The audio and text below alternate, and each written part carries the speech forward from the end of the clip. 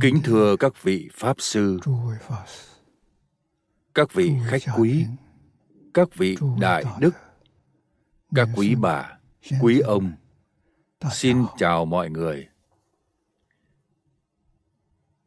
Tháng 3 năm nay,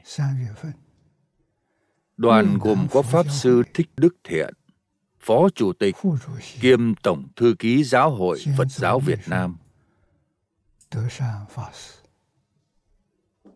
Ngài Chu Văn Tuấn, Viện trưởng Viện Nghiên cứu Tôn giáo thuộc Viện Hàn Lâm Khoa học Xã hội Việt Nam.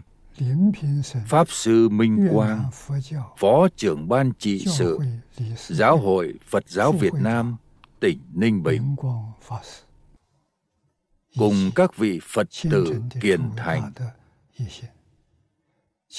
Đã đích thân đến Hồng Kông thăm và mời tôi đến thăm quý quốc, một đất nước trang nghiêm tráng lệ. Tôi vô cùng cảm động và cảm tạ lời mời chân thành của các vị Pháp Sư và Phật tử. Thế nhưng tuổi tác không buông tha. Sắc thân đã dùng 92 năm này khiến tôi cảm thấy lực bất tòng tâm. Cộng thêm một loạt các hành trình ở châu âu. vào trung tuần tháng này tôi lại buộc phải đến họp tại trụ sở unesco ở paris nước pháp. khiến tôi không thể đến quý quốc tham quan trao đổi và học tập như mong muốn. Tôi cảm thấy vô cùng xin lỗi. Để mọi người không quá thất vọng. tôi đã thành khẩn nỗ lực thu hình bài diễn giảng này. Mong rằng có thể bù đắp sự áy náy. Vì tôi chưa thể đích thân đến thăm quý quốc và cũng thỉnh cầu mọi người hiểu cho nỗi khổ tâm của tôi vì tôi không thể phân thân. Một trong những chủ đề mà ban tổ chức gửi cho tôi là giáo dục phật đà giáo dục tôn giáo trí thiện viên mãn. đầu tiên xin cho phép tôi giới thiệu sơ qua về phật giáo. ở đây có rất nhiều người là phật tử. khi học phật đầu tiên bắt buộc phải hiểu rõ thế nào là phật giáo. nếu không sẽ trở thành mê tín mất thôi. Nhận thức về phật thích ca mâu ni khi còn trẻ tôi cho rằng phật giáo là mê tín. là đạo đa thần và tôn giáo cấp thấp May thay, vào năm 26 tuổi, tôi đã được gặp giáo sư Phương Đông Mỹ. Ông là một nhà triết học lớn. Ông đã giảng cho tôi bộ khái luận triết học. Đến cuối giáo trình, thầy Phương đã giảng đến triết học của Kinh Phật. Khi đó ông nói, Thích Ca Mâu Ni là nhà triết học vĩ đại nhất trên thế giới triết học của kinh phật là đỉnh cao của triết học trên toàn thế giới. Học phật là sự hưởng thụ cao nhất của đời người. Đây là điều mà trước đây tôi chưa từng nghe thấy. Do vậy tôi bắt đầu có hứng thú đối với phật giáo. Sau khi tìm hiểu và đọc những cuốn sách về phật giáo một cách nghiêm túc tôi mới hiểu phật giáo chính là giáo dục là sự nghiệp giáo dục trí thiện viên mãn của phật đà đối với chúng sinh ở chín pháp giới. Người thầy thứ hai dạy cho tôi về phật pháp. Là đại sư trương gia một đại đức xuất gia của nhà phật. Ngài nói khi chúng ta học phật trước hết phải hiểu rõ về phật thích ca mâu ni chỉ sau khi có được sự hiểu biết đúng đắn về cuộc đời của phật đà người học phật mới không đi đường vòng đại sư đã hướng dẫn tôi đọc cuốn thích ca phương chí và Thích Ca Phổ. Đây đều là truyện ký về Phật Thích Ca Mâu Ni. Sau khi đọc xong hai cuốn sách này, tôi mới phát hiện ra thân phận của Đức Phật. Thích Ca Mâu Ni. Nếu dùng thuật ngữ hiện đại mà nói, Ngài là tình nguyện viên. Vì sự nghiệp giáo dục đa nguyên văn hóa xã hội. Khi còn chưa xuất gia, thân phận của Ngài là một vị thái tử. Khi còn trẻ, Ngài thấy được quy luật già, bệnh, chết, khổ của chúng sinh ở thế gian. Ngài đã mong muốn tìm được phương pháp để chúng sinh lìa khổ được vui. Thế rồi, Ngài đã chọn cách xuất gia để tu hành.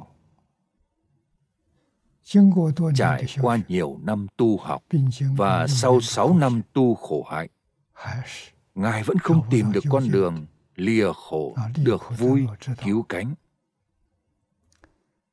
Sau cùng, Ngài đem tất cả phiền não của vọng tưởng, phân biệt, chấp trước đều buông xuống một cách triệt để dưới gốc cây bồ đề. Thế rồi, Ngài đã khôi phục được trí huệ viên mãn vốn có trong tự tính, gọi là tự tánh của chính mình, hiểu được tường tận chân tướng của vũ trụ nhân sinh. Sau khi khai ngộ, Ngài liền bắt đầu thực hiện công tác giảng kinh, dạy học. Kể từ khi Ngài khai ngộ vào năm 30 tuổi, cho đến khi Ngài viên tịch vào tuổi 79. Sự nghiệp dạy học của Phật Thích Ca Mâu Ni chưa hề ngừng nghỉ.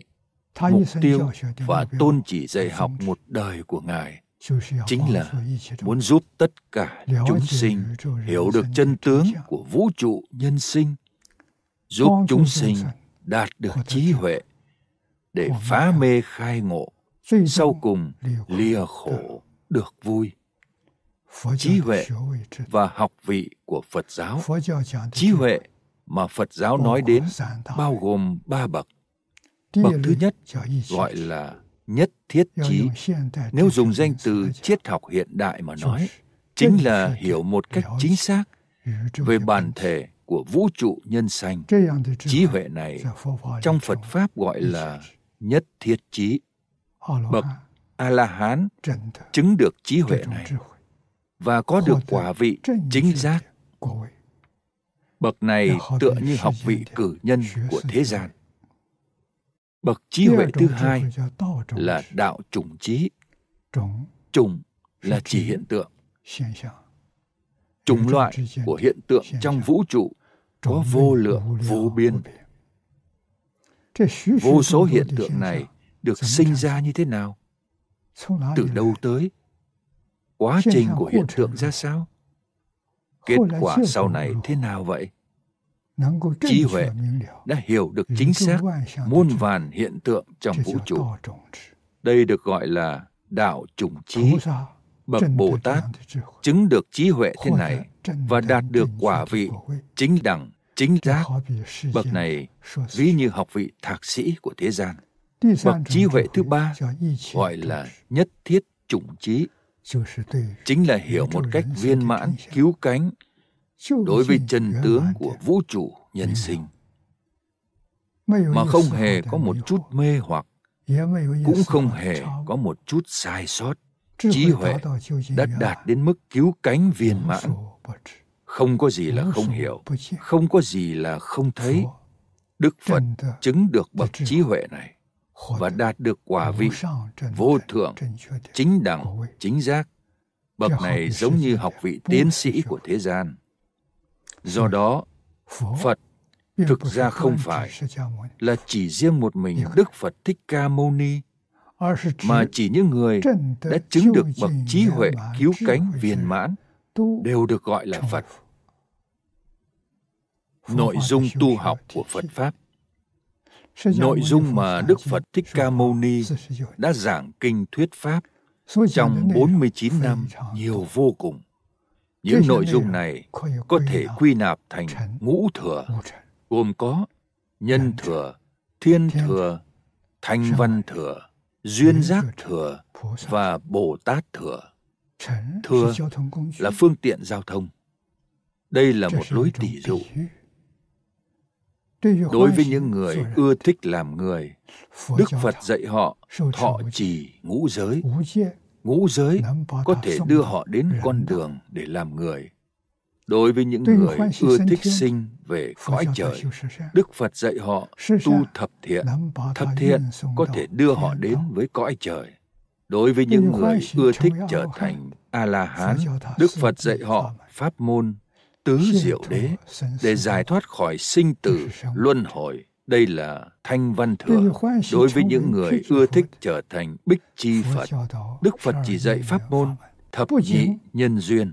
để không những dứt bỏ được phiền não thô nặng dễ thấy mà ngay cả tập khí của phiền não cũng không còn. Đây là duyên giác thừa đối với những người ưa thích trở thành phật đức phật chỉ dạy cho họ tu pháp môn lục độ vạn hạnh để phổ độ chúng sinh viên mãn bồ đề. Đây là bồ tát thừa dưới đây chúng tôi xin đem tịnh nghiệp tam phước để giới thiệu khái quát về nền tảng của ngũ thừa. Trong kinh quán vô lượng thọ Phật, Phật có giảng cho phu nhân Vi Đề Hy. Tam phúc này là chính nhân tịnh nghiệp của chư Phật ba đời. Chư Phật ba đời chính là Phật quá khứ, Phật hiện tại và Phật tương lai. Tất cả chư Phật tu hành đã chứng quả đều phải lấy tam phúc này làm cơ sở. chúng ta hãy nghe phúc thứ nhất. Có bốn câu. Hiếu dưỡng phụ mẫu phụng sự sư trưởng từ tâm bất sát tu thập thiện nghiệp. Câu đầu tiên. Hiếu dưỡng cha mẹ. Kinh phật được dịch sang tiếng trung quốc từ tiếng phạm của ấn độ chữ viết của trung quốc vô cùng đặc thù mà hàm nghĩa lại vô cùng sâu sắc là loại hình vẽ trí tuệ. chữ hiếu này là thể loại hội ý. Chúng ta phải hiểu rõ được ý nghĩa của chữ này. Ở trên là chữ lão bên dưới là chữ tử điều này muốn nói với chúng ta rằng thế hệ trước và thế hệ sau là một thể là một chứ không phải hai. Quá khứ còn có quá khứ tương lai vẫn có tương lai.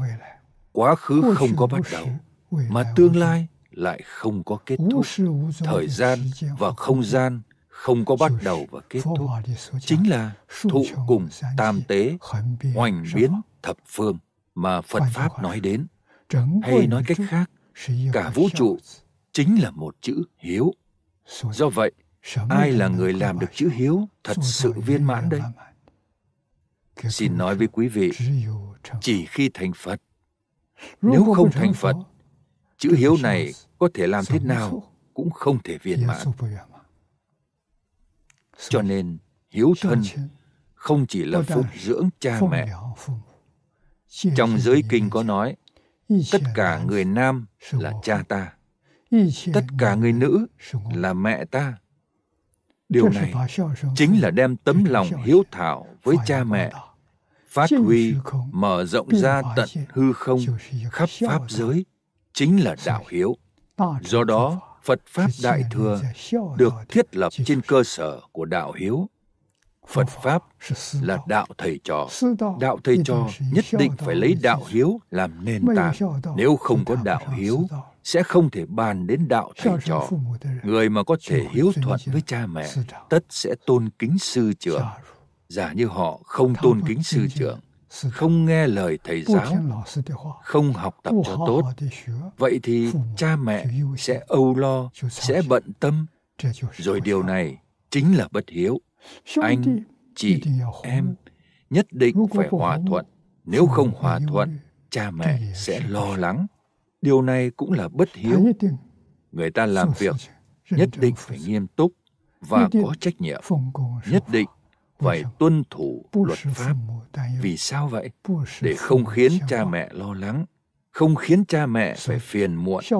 Do vậy, đạo hiếu đích thực là sự cứu cánh viên mãn của tánh đức. Đức Phật dạy chúng ta phải học từ những điểm này. Phải kính trọng thầy giáo. Đức Phật chính là người thầy đầu tiên của chúng ta, người thầy của ba nghìn năm về trước. Đến người thầy xa cách như vậy mà vẫn kính trọng, đều một lòng không quên. Vậy thì đối với người thầy hiện tại, đâu có đạo lý nào mà không kính trọng chứ? Do đó, chúng ta thờ tượng Phật là để luôn nhớ nghĩ ân đức, là mang ý nghĩa báo ân. Điều này nhất định phải hiểu được, chứ không phải xem Đức Phật như thần linh.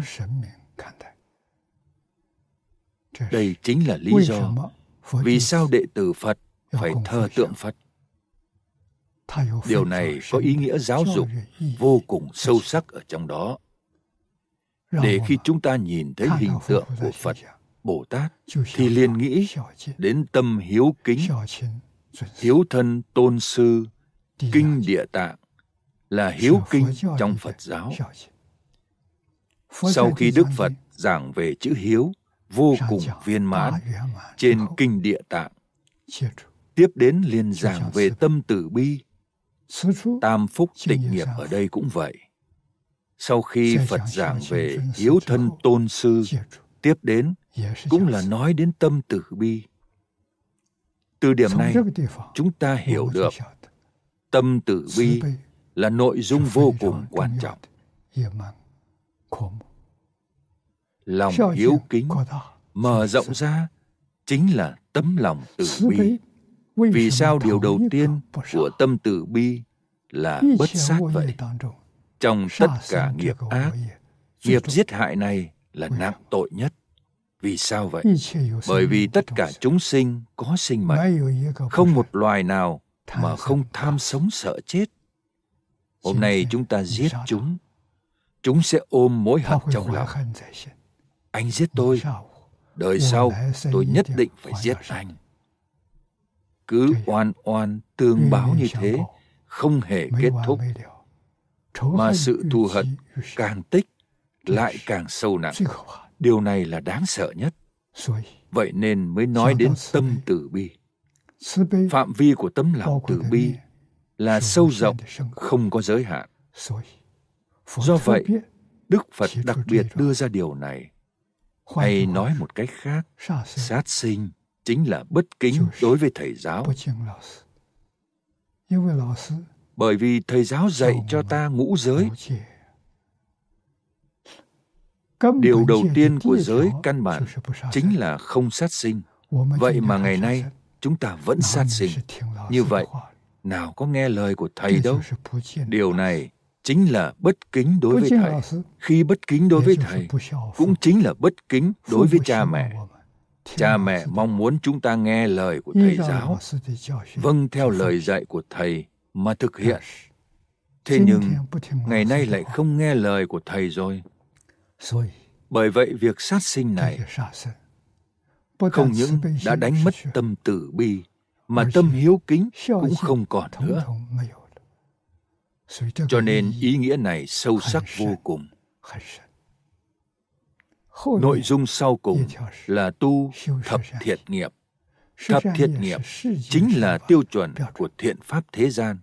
Đức phật dạy chúng ta rằng nếu tu được mười điều thiện này nhất định sẽ không bị đọa vào ba đường ác. Nếu thập thiện nghiệp mà đạt được bậc thượng phẩm tất sẽ được sinh về cõi trời. còn nếu có cả thiền định tứ vô lượng tâm từ bi hỷ xả họ sẽ được sinh về cõi trời cao hơn. cõi trời cao hơn giống như sắc giới thiên vô sắc giới thiên. mười thiện cũng có thể quy nạp thành ba mục lớn đó là thân khẩu và ý.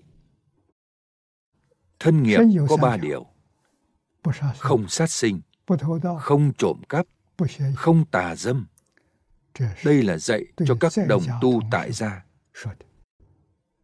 còn nếu là người xuất gia thì phải sửa thành không dâm dục. đoạn bỏ cho thật sạch sẽ. Khi bàn đến không tà dâm chúng sinh bị luân chuyển trong tam giới. Tam giới chính là dục giới sắc giới và vô sắc giới. nếu tâm dâm dục không được hàng phục. dẫu họ tu thiện có cao đến mức nào cũng chỉ có thể sinh về cõi trời dục giới. cõi dục giới có sáu tầng. càng lên cao thì tính dục càng nhạt dần. Từ đây có thể thấy người thực sự tu thiền mà đạt được thiền định phải có thể hàng phục được tất thảy ý nghĩa dâm dục. nhất định không để hiện hiện bởi vậy ngũ dục này tất thảy đều không có rồi. tuy rằng gốc rễ vẫn chưa dứt được nhưng họ có công phu của thiền định. do đó ý niệm này sẽ không sinh ra sẽ không hiện hiện. Trình độ thế này mới có tư cách để sinh về cõi trời sơ thiền trở lên. lại nói về không trộm cắp trộm cắp là lấy những thứ không phải của mình. Ngày nay chúng ta thừa cơ trục lợi muốn trốn một chút thuế. trốn thuế chính là trộm cắp là lấy trộm của nhà nước. Tội sẽ càng nặng hơn. nếu ta lấy trộm của một người sau này phải trả nợ một người. Nếu ta lấy trộm của đất nước này người dân của đất nước này nhiều như vậy trong tương lai ai ai cũng là chủ nợ của ta. món nợ này liệu có trả được không? Trả không nổi. Cho nên người học phật chân thật nhất định phải tuân thủ luật pháp tuyệt đối không dám thừa cơ trục lợi. Bởi vậy không phạm giới trộm cắp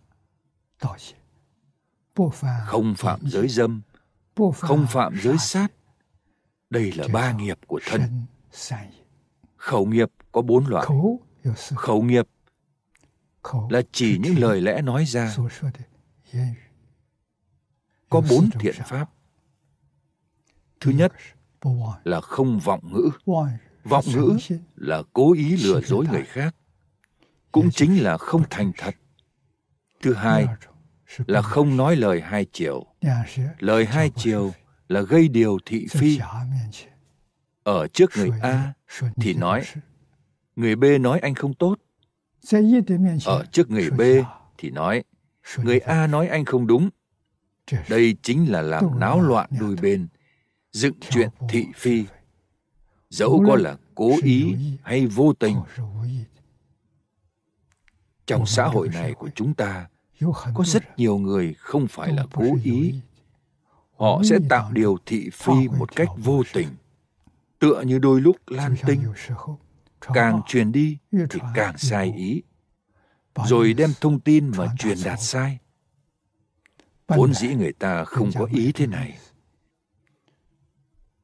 Nhưng khi họ nói chuyện chỗ này thêm một chút chỗ kia thêm một chút thêm mắm thêm muối. Thế rồi đem ý của người ta làm cho điên đảo hết cả rồi. Đây là lỗi lầm lớn nhất. nếu nhỏ làm cho hai người bất hòa còn lớn thì khiến hai đất nước nảy sinh chiến tranh. Tội lỗi này rất nặng tuyệt đối không được xem nhẹ. Thứ ba là không nói lời xấu ác nói lời xấu ác là nói không có chừng mực không có lễ độ rất thô lỗ khiến người nghe thấy liền cảm thấy rất khó chịu. Thứ tư là không nói lời theo dệt. lời theo dệt là lời lẽ hoa mỹ nói thì vô cùng hay nhưng dụng ý lại không tốt. Ví như trong xã hội thời nay có vô số phim ảnh vô số tiết mục ca múa âm nhạc. khi nghe có vẻ rất hay khi xem cũng không thấy xấu. nhưng chúng dạy điều gì cho con người vậy? Đều là dạy người ta làm điều sát đạo dâm vọng. Những thứ này tất thảy đều là theo dệt. Miệng phải tránh xa bốn loại ác nghiệp này. Thì khẩu nghiệp tất sẽ thiện. Nội dung thứ ba là ý nghiệp. Cũng chính là những ý niệm giấy khởi của chúng ta. Trong ý niệm có thể quy nạp thành ba loại lớn. Không tham không sân không si. Tham. Là nói đến tham ái bao gồm keo kiệt. cho nên thường nói tham lam keo kiệt. đối với thứ mà bản thân không có chúng ta ra sức mong cầu mong để đạt được. đây chính là tâm tham. Đối với những thứ đã có lại không thể buông xả luyến tiếc không chịu giúp đỡ người khác. Đây chính là keo kiệt. Đây cũng chính là tâm tham. Tham. Lam là chướng ngại lớn nhất khi tu học phật pháp. Bởi vậy đức phật dạy chúng ta bố thí. Bố thí chính là xả hết tâm tham. Có một số đồng tu học phật lâu năm họ không còn tham đối với danh văn lợi dưỡng của pháp thế gian. Điều này cũng rất hiếm có. Nhưng họ lại tham phật pháp. Thứ này cũng muốn học thứ kia cũng muốn học. Quý vị hãy thử nghĩ xem. Lòng tham của họ thực ra không dứt bỏ được. Đức phật dạy chúng ta đoạn bỏ tâm tham. Chứ không phải dạy chúng ta đổi đối tượng của lòng tham trước đây tham pháp thế gian bây giờ lại tham phật pháp vẫn là tâm tham. tâm tham vẫn còn ở đó. Điều này là sai lầm. do vậy đối với phật pháp và pháp thế gian tất thầy đều không được tham ái. kế đến là không sân hận. thành thật mà nói vì sao lại sân hận vậy? Tham không được thì liền sân hận nếu lòng tham mà đạt được họ sẽ không còn tâm sân hận nữa. Tâm sân hận là phiền não rất lớn.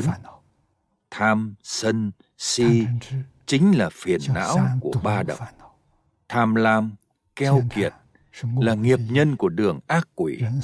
con người khi chết rồi vì sao lại trở thành ác quỷ vậy?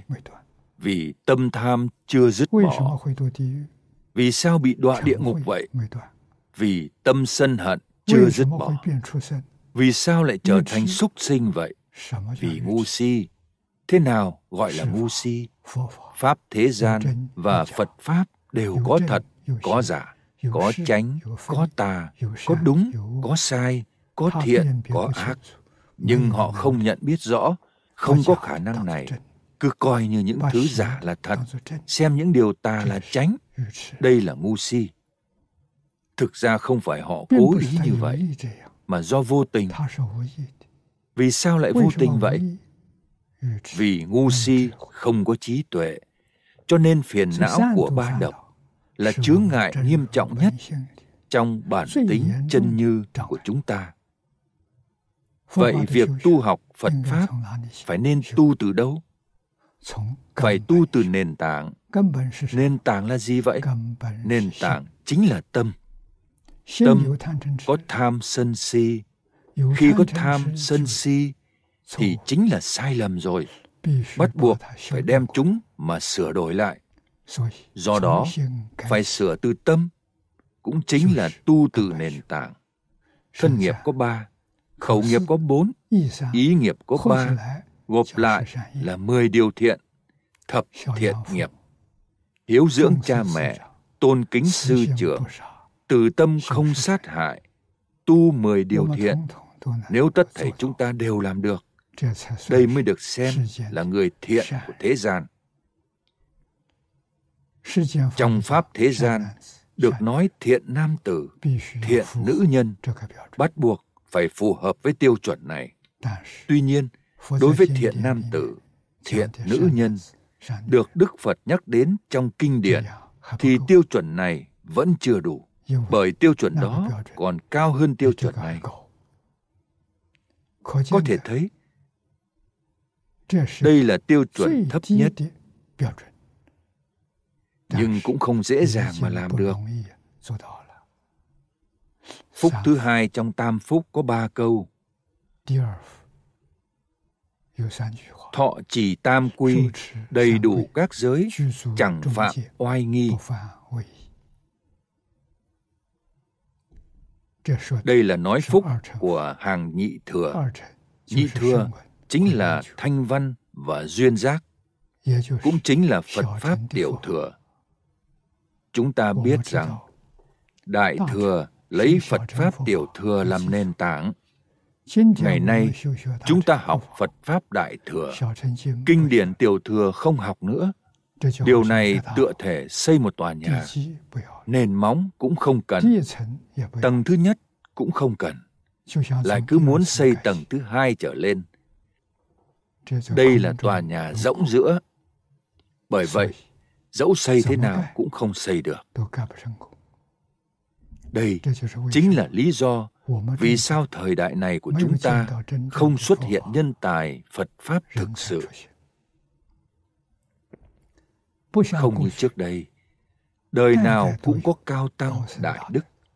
Đều xuất hiện các cư sĩ tại gia tu học chân chính. Đời này lại không có. Vì sao lại không có vậy? Chính vì mọi người đã xem nhẹ nền tảng mất rồi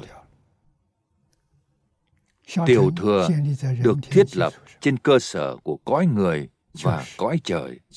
Chính là xây dựng trên nền tảng đã giới thiệu ở trên. Đối với hiếu cha mẹ kính thầy giáo tâm tử bi làm mười điều thiện đã nói ở trên.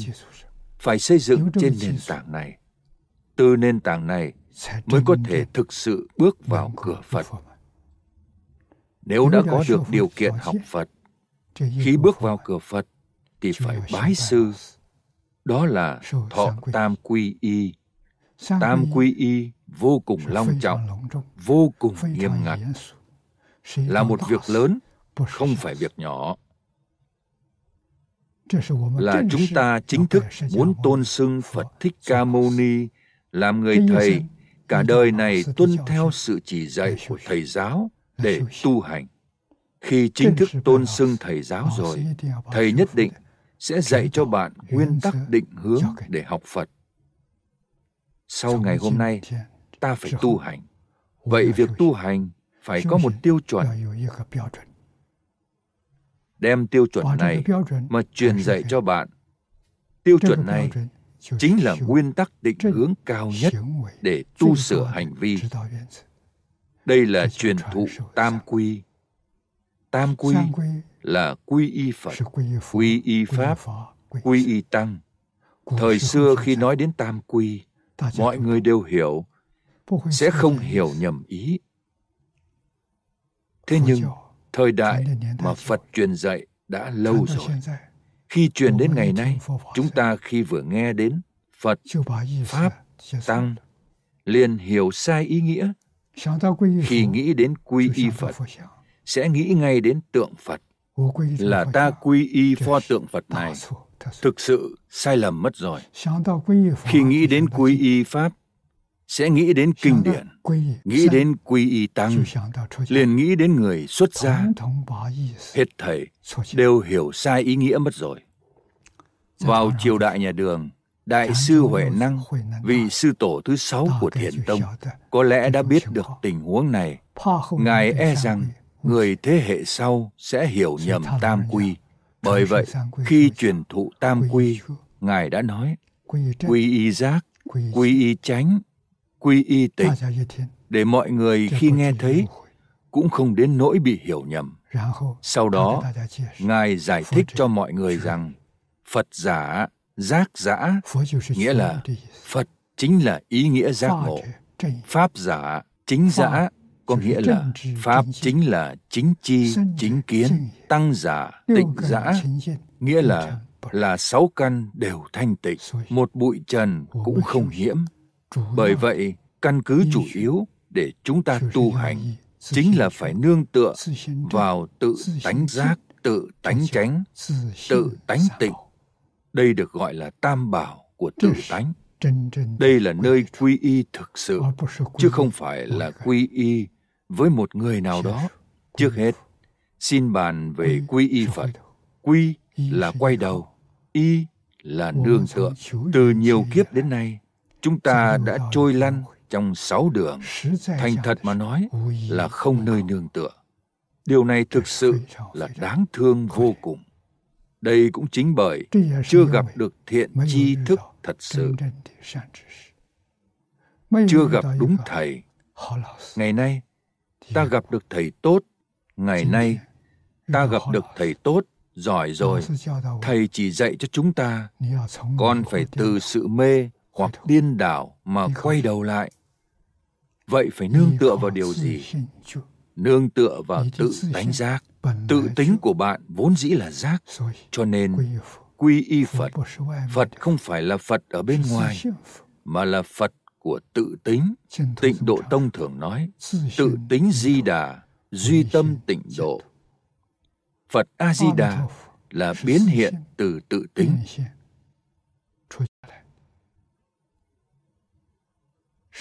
Phật Thích Ca Mâu Ni cũng là biến hiện từ tự tính. Tất cả chư Phật Như Lai, mười phương ba đời đều là Phật của tự tính. Cho nên, nơi mà chúng ta quy y chính là Phật của tự tính, cũng chính là tự tính giác. Phật có nghĩa là giác. Kể từ ngày hôm nay, chúng ta phải giác mà không mê. Dù cho đối với người, đối với sự, đối với vật, ta đều phải giác ngộ. Tuyệt đối không được mê hoặc. Giác mà không mê chính là thực sự quy y. Nếu đã quy y Phật rồi, mà vẫn mê hoặc điên đảo, mà vẫn dối như tơ vò, thì bạn vẫn chưa quay đầu, cũng chưa có nơi nương tựa. Vậy thì quy y của bạn chỉ là hữu danh vô thực, sẽ không nhận được sự bảo vệ của thần hộ Pháp, không có được cảm ứng. Do vậy, nhất định phải nhận thức cho rõ phải quy y tự tính giác. Thứ hai là quy y pháp. pháp chính là cách nhìn nhận suy nghĩ đối với vũ trụ nhân sinh. Hoàn toàn phù hợp với chân tướng của sự thật. Kiến giải đúng đắn. trong kinh phật thường gọi là chính chi chính kiến hoặc là phật chi phật kiến phật chi phật kiến. Chính là chính chi chính kiến. Đây là pháp đây là pháp bảo của tự tính. Không phải thứ đến từ bên ngoài. Quy y. Quy chính là từ suy nghĩ sai lầm. Cách nhìn nhận sai lầm của chúng ta mà quay đầu lại phải nương tựa vào chính chi chính kiến của tự tính. Đây được gọi là quy y pháp bởi vậy pháp là chi kiến của tự tính chứ không phải cứ đi theo người khác. Đây chính là sự vĩ đại là điều khiến người khác kính phục của đức phật. đức phật không dắt mũi chúng ta mà kéo đi. Phật hoàn toàn để chúng ta làm. Một người độc lập có thể đầu đội trời chân đạp đất. Đây là điểm đáng nể để chúng ta tôn kính. Tăng có nghĩa là thanh tịnh.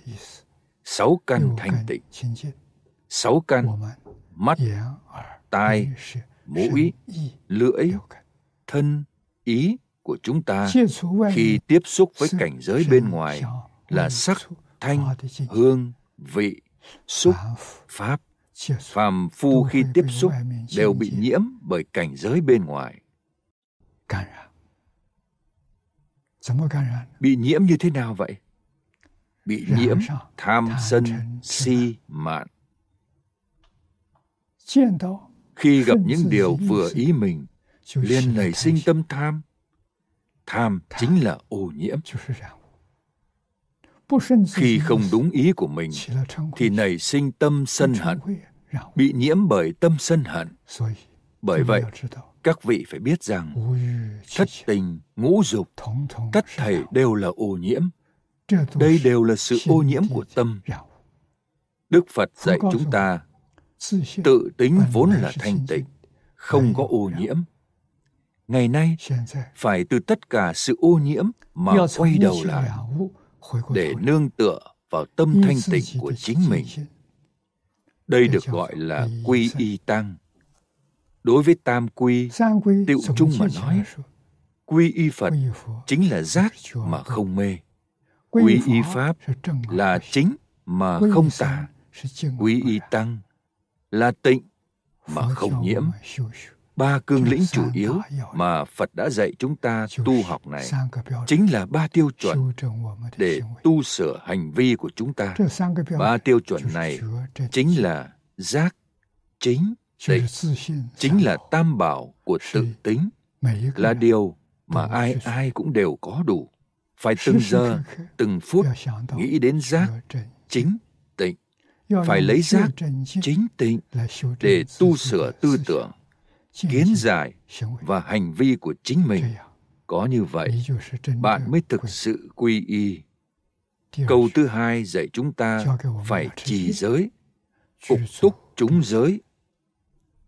Chúng là số nhiều trong rất nhiều người, quan trọng nhất là ngũ giới. Ngũ giới là đại giới căn bản của nhà phật. Nếu chỉ giữ được năm giới, đời sau sẽ giữ được thân người. Câu cuối cùng nói, bất phạm oai nghi. Oai nghi là phép tắc, lễ tiết. Trong cuộc sống hàng ngày khi đối nhân xử thế tiếp vật. Phải tuân thủ một số quy định và phép tắc. Điều này thuộc về oai nghi. Phúc thứ ba là phúc đại thừa. Đại thừa cũng chính là bồ tát thừa trong phật pháp ngũ thừa. Phúc đại thừa có bốn câu. Phát bồ đề tâm, tin sâu nhân quả đọc tụng đại thừa khuyến tấn hành giả. Câu thứ nhất là phát bồ đề tâm. Chúng ta là học phật giáo đại thừa. Bởi vậy câu phát bồ đề tâm thường xuyên được nói đến. Bạn phải phát tâm phải khuyên người phát tâm. Suốt cuộc là phát cái tâm gì? Thế nào là tâm bồ đề? rất ít người biết được. Bồ đề là tiếng phạn dịch sang tiếng trung là giác ngộ. tâm bồ đề chính là tâm giác ngộ thật sự. tâm thực sự không mê. vậy giác ngộ điều gì đấy? Giác ngộ được người đời thật sự là khổ. đức phật dạy chúng ta tam giới đều khổ. Không những cõi người khổ cõi trời cũng khổ tam khổ tám khổ của thế gian hết thảy đều có đủ. nội dung này không thể bàn chi tiết với quý vị bởi nếu bàn chi tiết có đến hai giờ đồng hồ cũng không nói hết. khi thực sự hiểu rõ được chân tướng của ba cõi bạn mới có thể giác ngộ. Sau khi giác ngộ rồi chúng ta phải lìa khổ được vui nhất định phải vượt qua tam giới. Vậy phải vượt qua tam giới thế nào đây? Phải tu hành chân chính theo phương pháp của đức phật. đây mới thực sự phát tâm bồ đề thực sự giác ngộ. Ngoài ra đức phật còn dạy cho chúng ta tứ hoàng thệ nguyện. Tứ hoàng thệ nguyện chính là giải thích chi tiết về tâm bồ đề bồ tát đại thừa là đã phát được tâm bồ đề. Nếu xét từ tiêu chuẩn của tứ hoàng thệ nguyện sẽ hiểu được một cách dễ dàng. Tâm của bồ tát là phổ độ tất cả chúng sinh. Không những hiểu được bản thân mình khổ phải độ chính mình phải độ người thân của mình phải độ thân bằng quyến thuộc của mình mà còn phải độ vô lượng, vô biên chúng sinh. Phổ độ một cách bình đẳng. Đây là tâm đại bồ đề. Và cũng là nguyện thứ nhất trong tứ nguyện. Chúng sinh vô biên thể nguyện độ. Trên thực tế, bốn nguyện này chính là một nguyện. Ba nguyện sau chỉ là để hoàn thành một nguyện này. Ta muốn độ chúng sinh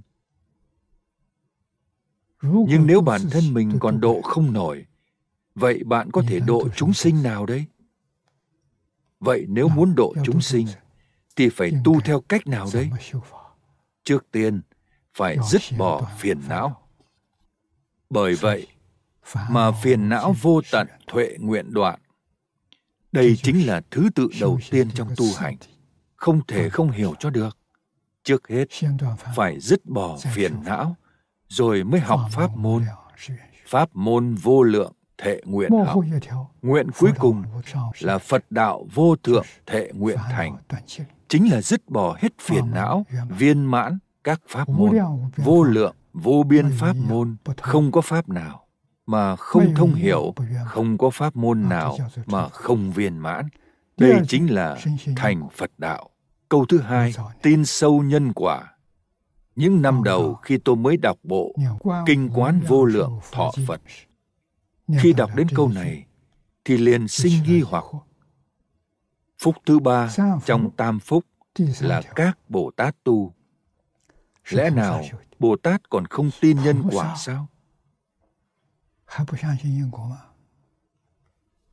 Sau này, khi đọc đến phẩm thập địa, thì mới bừng tỉnh ngộ thì ra nhân quả ở chỗ này. chính là niệm phật là nhân thành phật là quả. nhân quả này thành thật mà nói có vô số bồ tát cũng chưa hiểu. bởi vậy ở đây phật khuyên họ tin sâu nhân quả.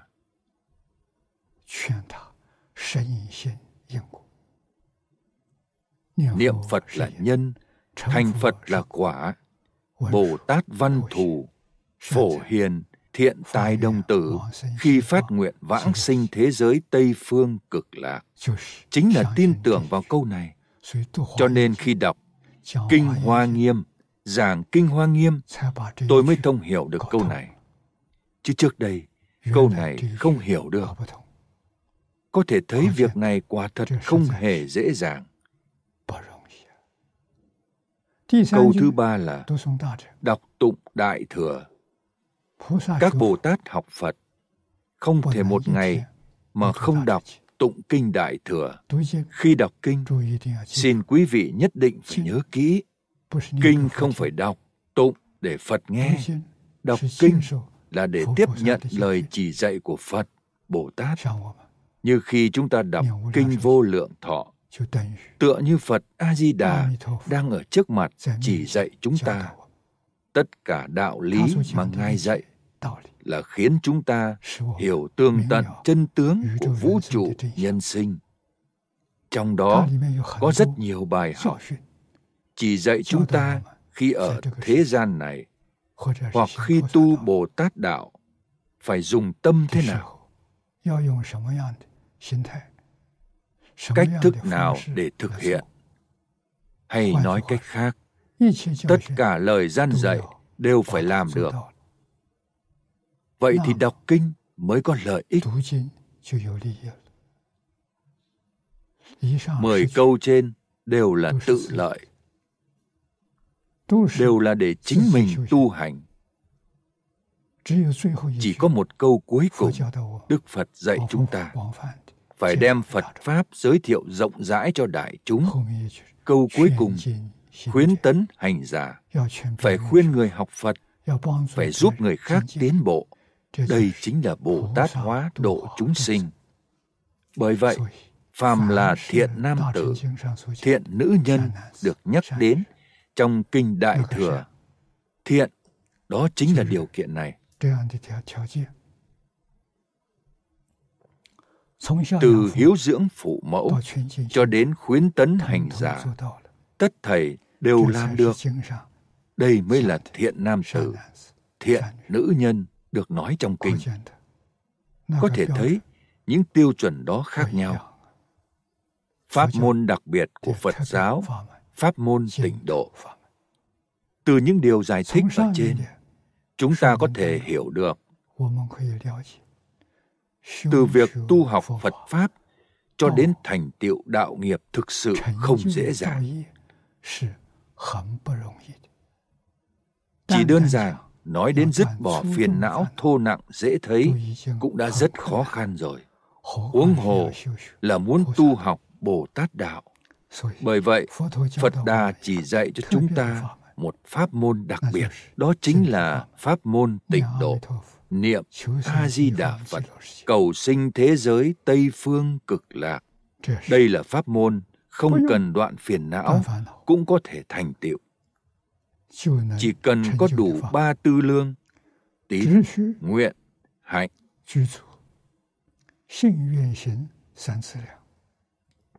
Tin tưởng rằng Tây Phương có thế giới cực lạc, thế giới cực lạc có Phật A-di-đà đã phát 48 nguyện để nhiếp thọ tất cả chúng sinh niệm Phật, thật lòng cầu vãng sinh về thế giới cực lạc. Không còn lưu luyến thế giới này. Thật thà niệm một câu danh hiệu A-di-đà Phật. Tín, nguyện, hạnh đều rất kiên định. Đến khi lâm chung, Phật A-di-đà sẽ đến tiếp dẫn bạn, đới nghiệp mà vãng sinh thế giới cực lạc. Khi đến thế giới cực lạc, thọ mạng của bạn là vô lượng, có thể tu đến khi thành Phật mới thôi. Đây là pháp môn tắt nhất, nhanh được viên mãn nhất. Giáo dục Phật Đà là sự nghiệp giáo dục tôn giáo trí thiện viên mãn. Tôi đã từng giới thiệu hàm nghĩa của tôn giáo theo nghĩa tiếng Trung. Chữ tôn trong tiếng Trung có ba ý nghĩa. Chủ yếu, quan trọng và tôn kính. Chữ giáo cũng có ba ý nghĩa. Giáo dục, giảng dạy và giáo hóa. khi kết hợp hai chữ với nhau và thêm vào hai chữ nhân loại chúng ta có thể nói tôn giáo là sự nghiệp giáo dục chủ yếu sự nghiệp giảng dạy quan trọng và sự nghiệp giáo hóa tôn kính của nhân loại. Ở khắp nơi trên thế giới tôi đã khởi xướng đoàn kết tôn giáo tôn giáo trở về với giáo dục. các tôn giáo học tập lẫn nhau. đây là điểm bắt đầu quan trọng để thúc đẩy thế giới hòa bình. Tôi đã đưa ra định nghĩa này của tôn giáo với các vị lãnh tụ tôn giáo để họ tham khảo họ đều công nhận tôn giáo của mình là sự nghiệp giáo dục chủ yếu. là sự nghiệp giảng dạy quan trọng. Là sự nghiệp giáo hóa tôn kính của nhân loại. Bởi vì tất cả tôn giáo đều là giáo dục về tình yêu thương của các vị thần và thánh đều dạy người ta phải biết yêu người không được hại người. Hơn nữa các tôn giáo đều dẫn dắt sự nghiệp giáo dục luân lý giáo dục đạo đức giáo dục nhân quả và giáo dục của trí tuệ thánh hiền. bốn sự nghiệp giáo dục phổ thế này có thể thúc đẩy xã hội an định và hài hòa nhân dân hạnh phúc an lạc từ những điều trình bày ở trên cho thấy sự nghiệp giáo dục của phật đà là sự nghiệp giáo dục đại từ đại bi. Sự nghiệp giáo dục luân lý giáo dục đạo đức giáo dục nhân quả và giáo dục trí tuệ thánh hiền đã trình bày đều giảng một cách triệt đề và viên mãn. Sự nghiệp này không chỉ khiến người ta có được sự an lạc ở thế gian mà còn đạt được sự an lạc xuất thế gian bởi vậy, giáo dục của Phật Đà là sự nghiệp giáo dục trí thiện, viên mãn. Cuối cùng, xin chúc quý vị thân tâm an khang, lục thời cát tường, chúc quý quốc thế nước hưng thịnh, quốc thái dân an, chúc cho thế giới an định, hòa bình và mãi mãi đại đồng. Xin cảm ơn mọi người.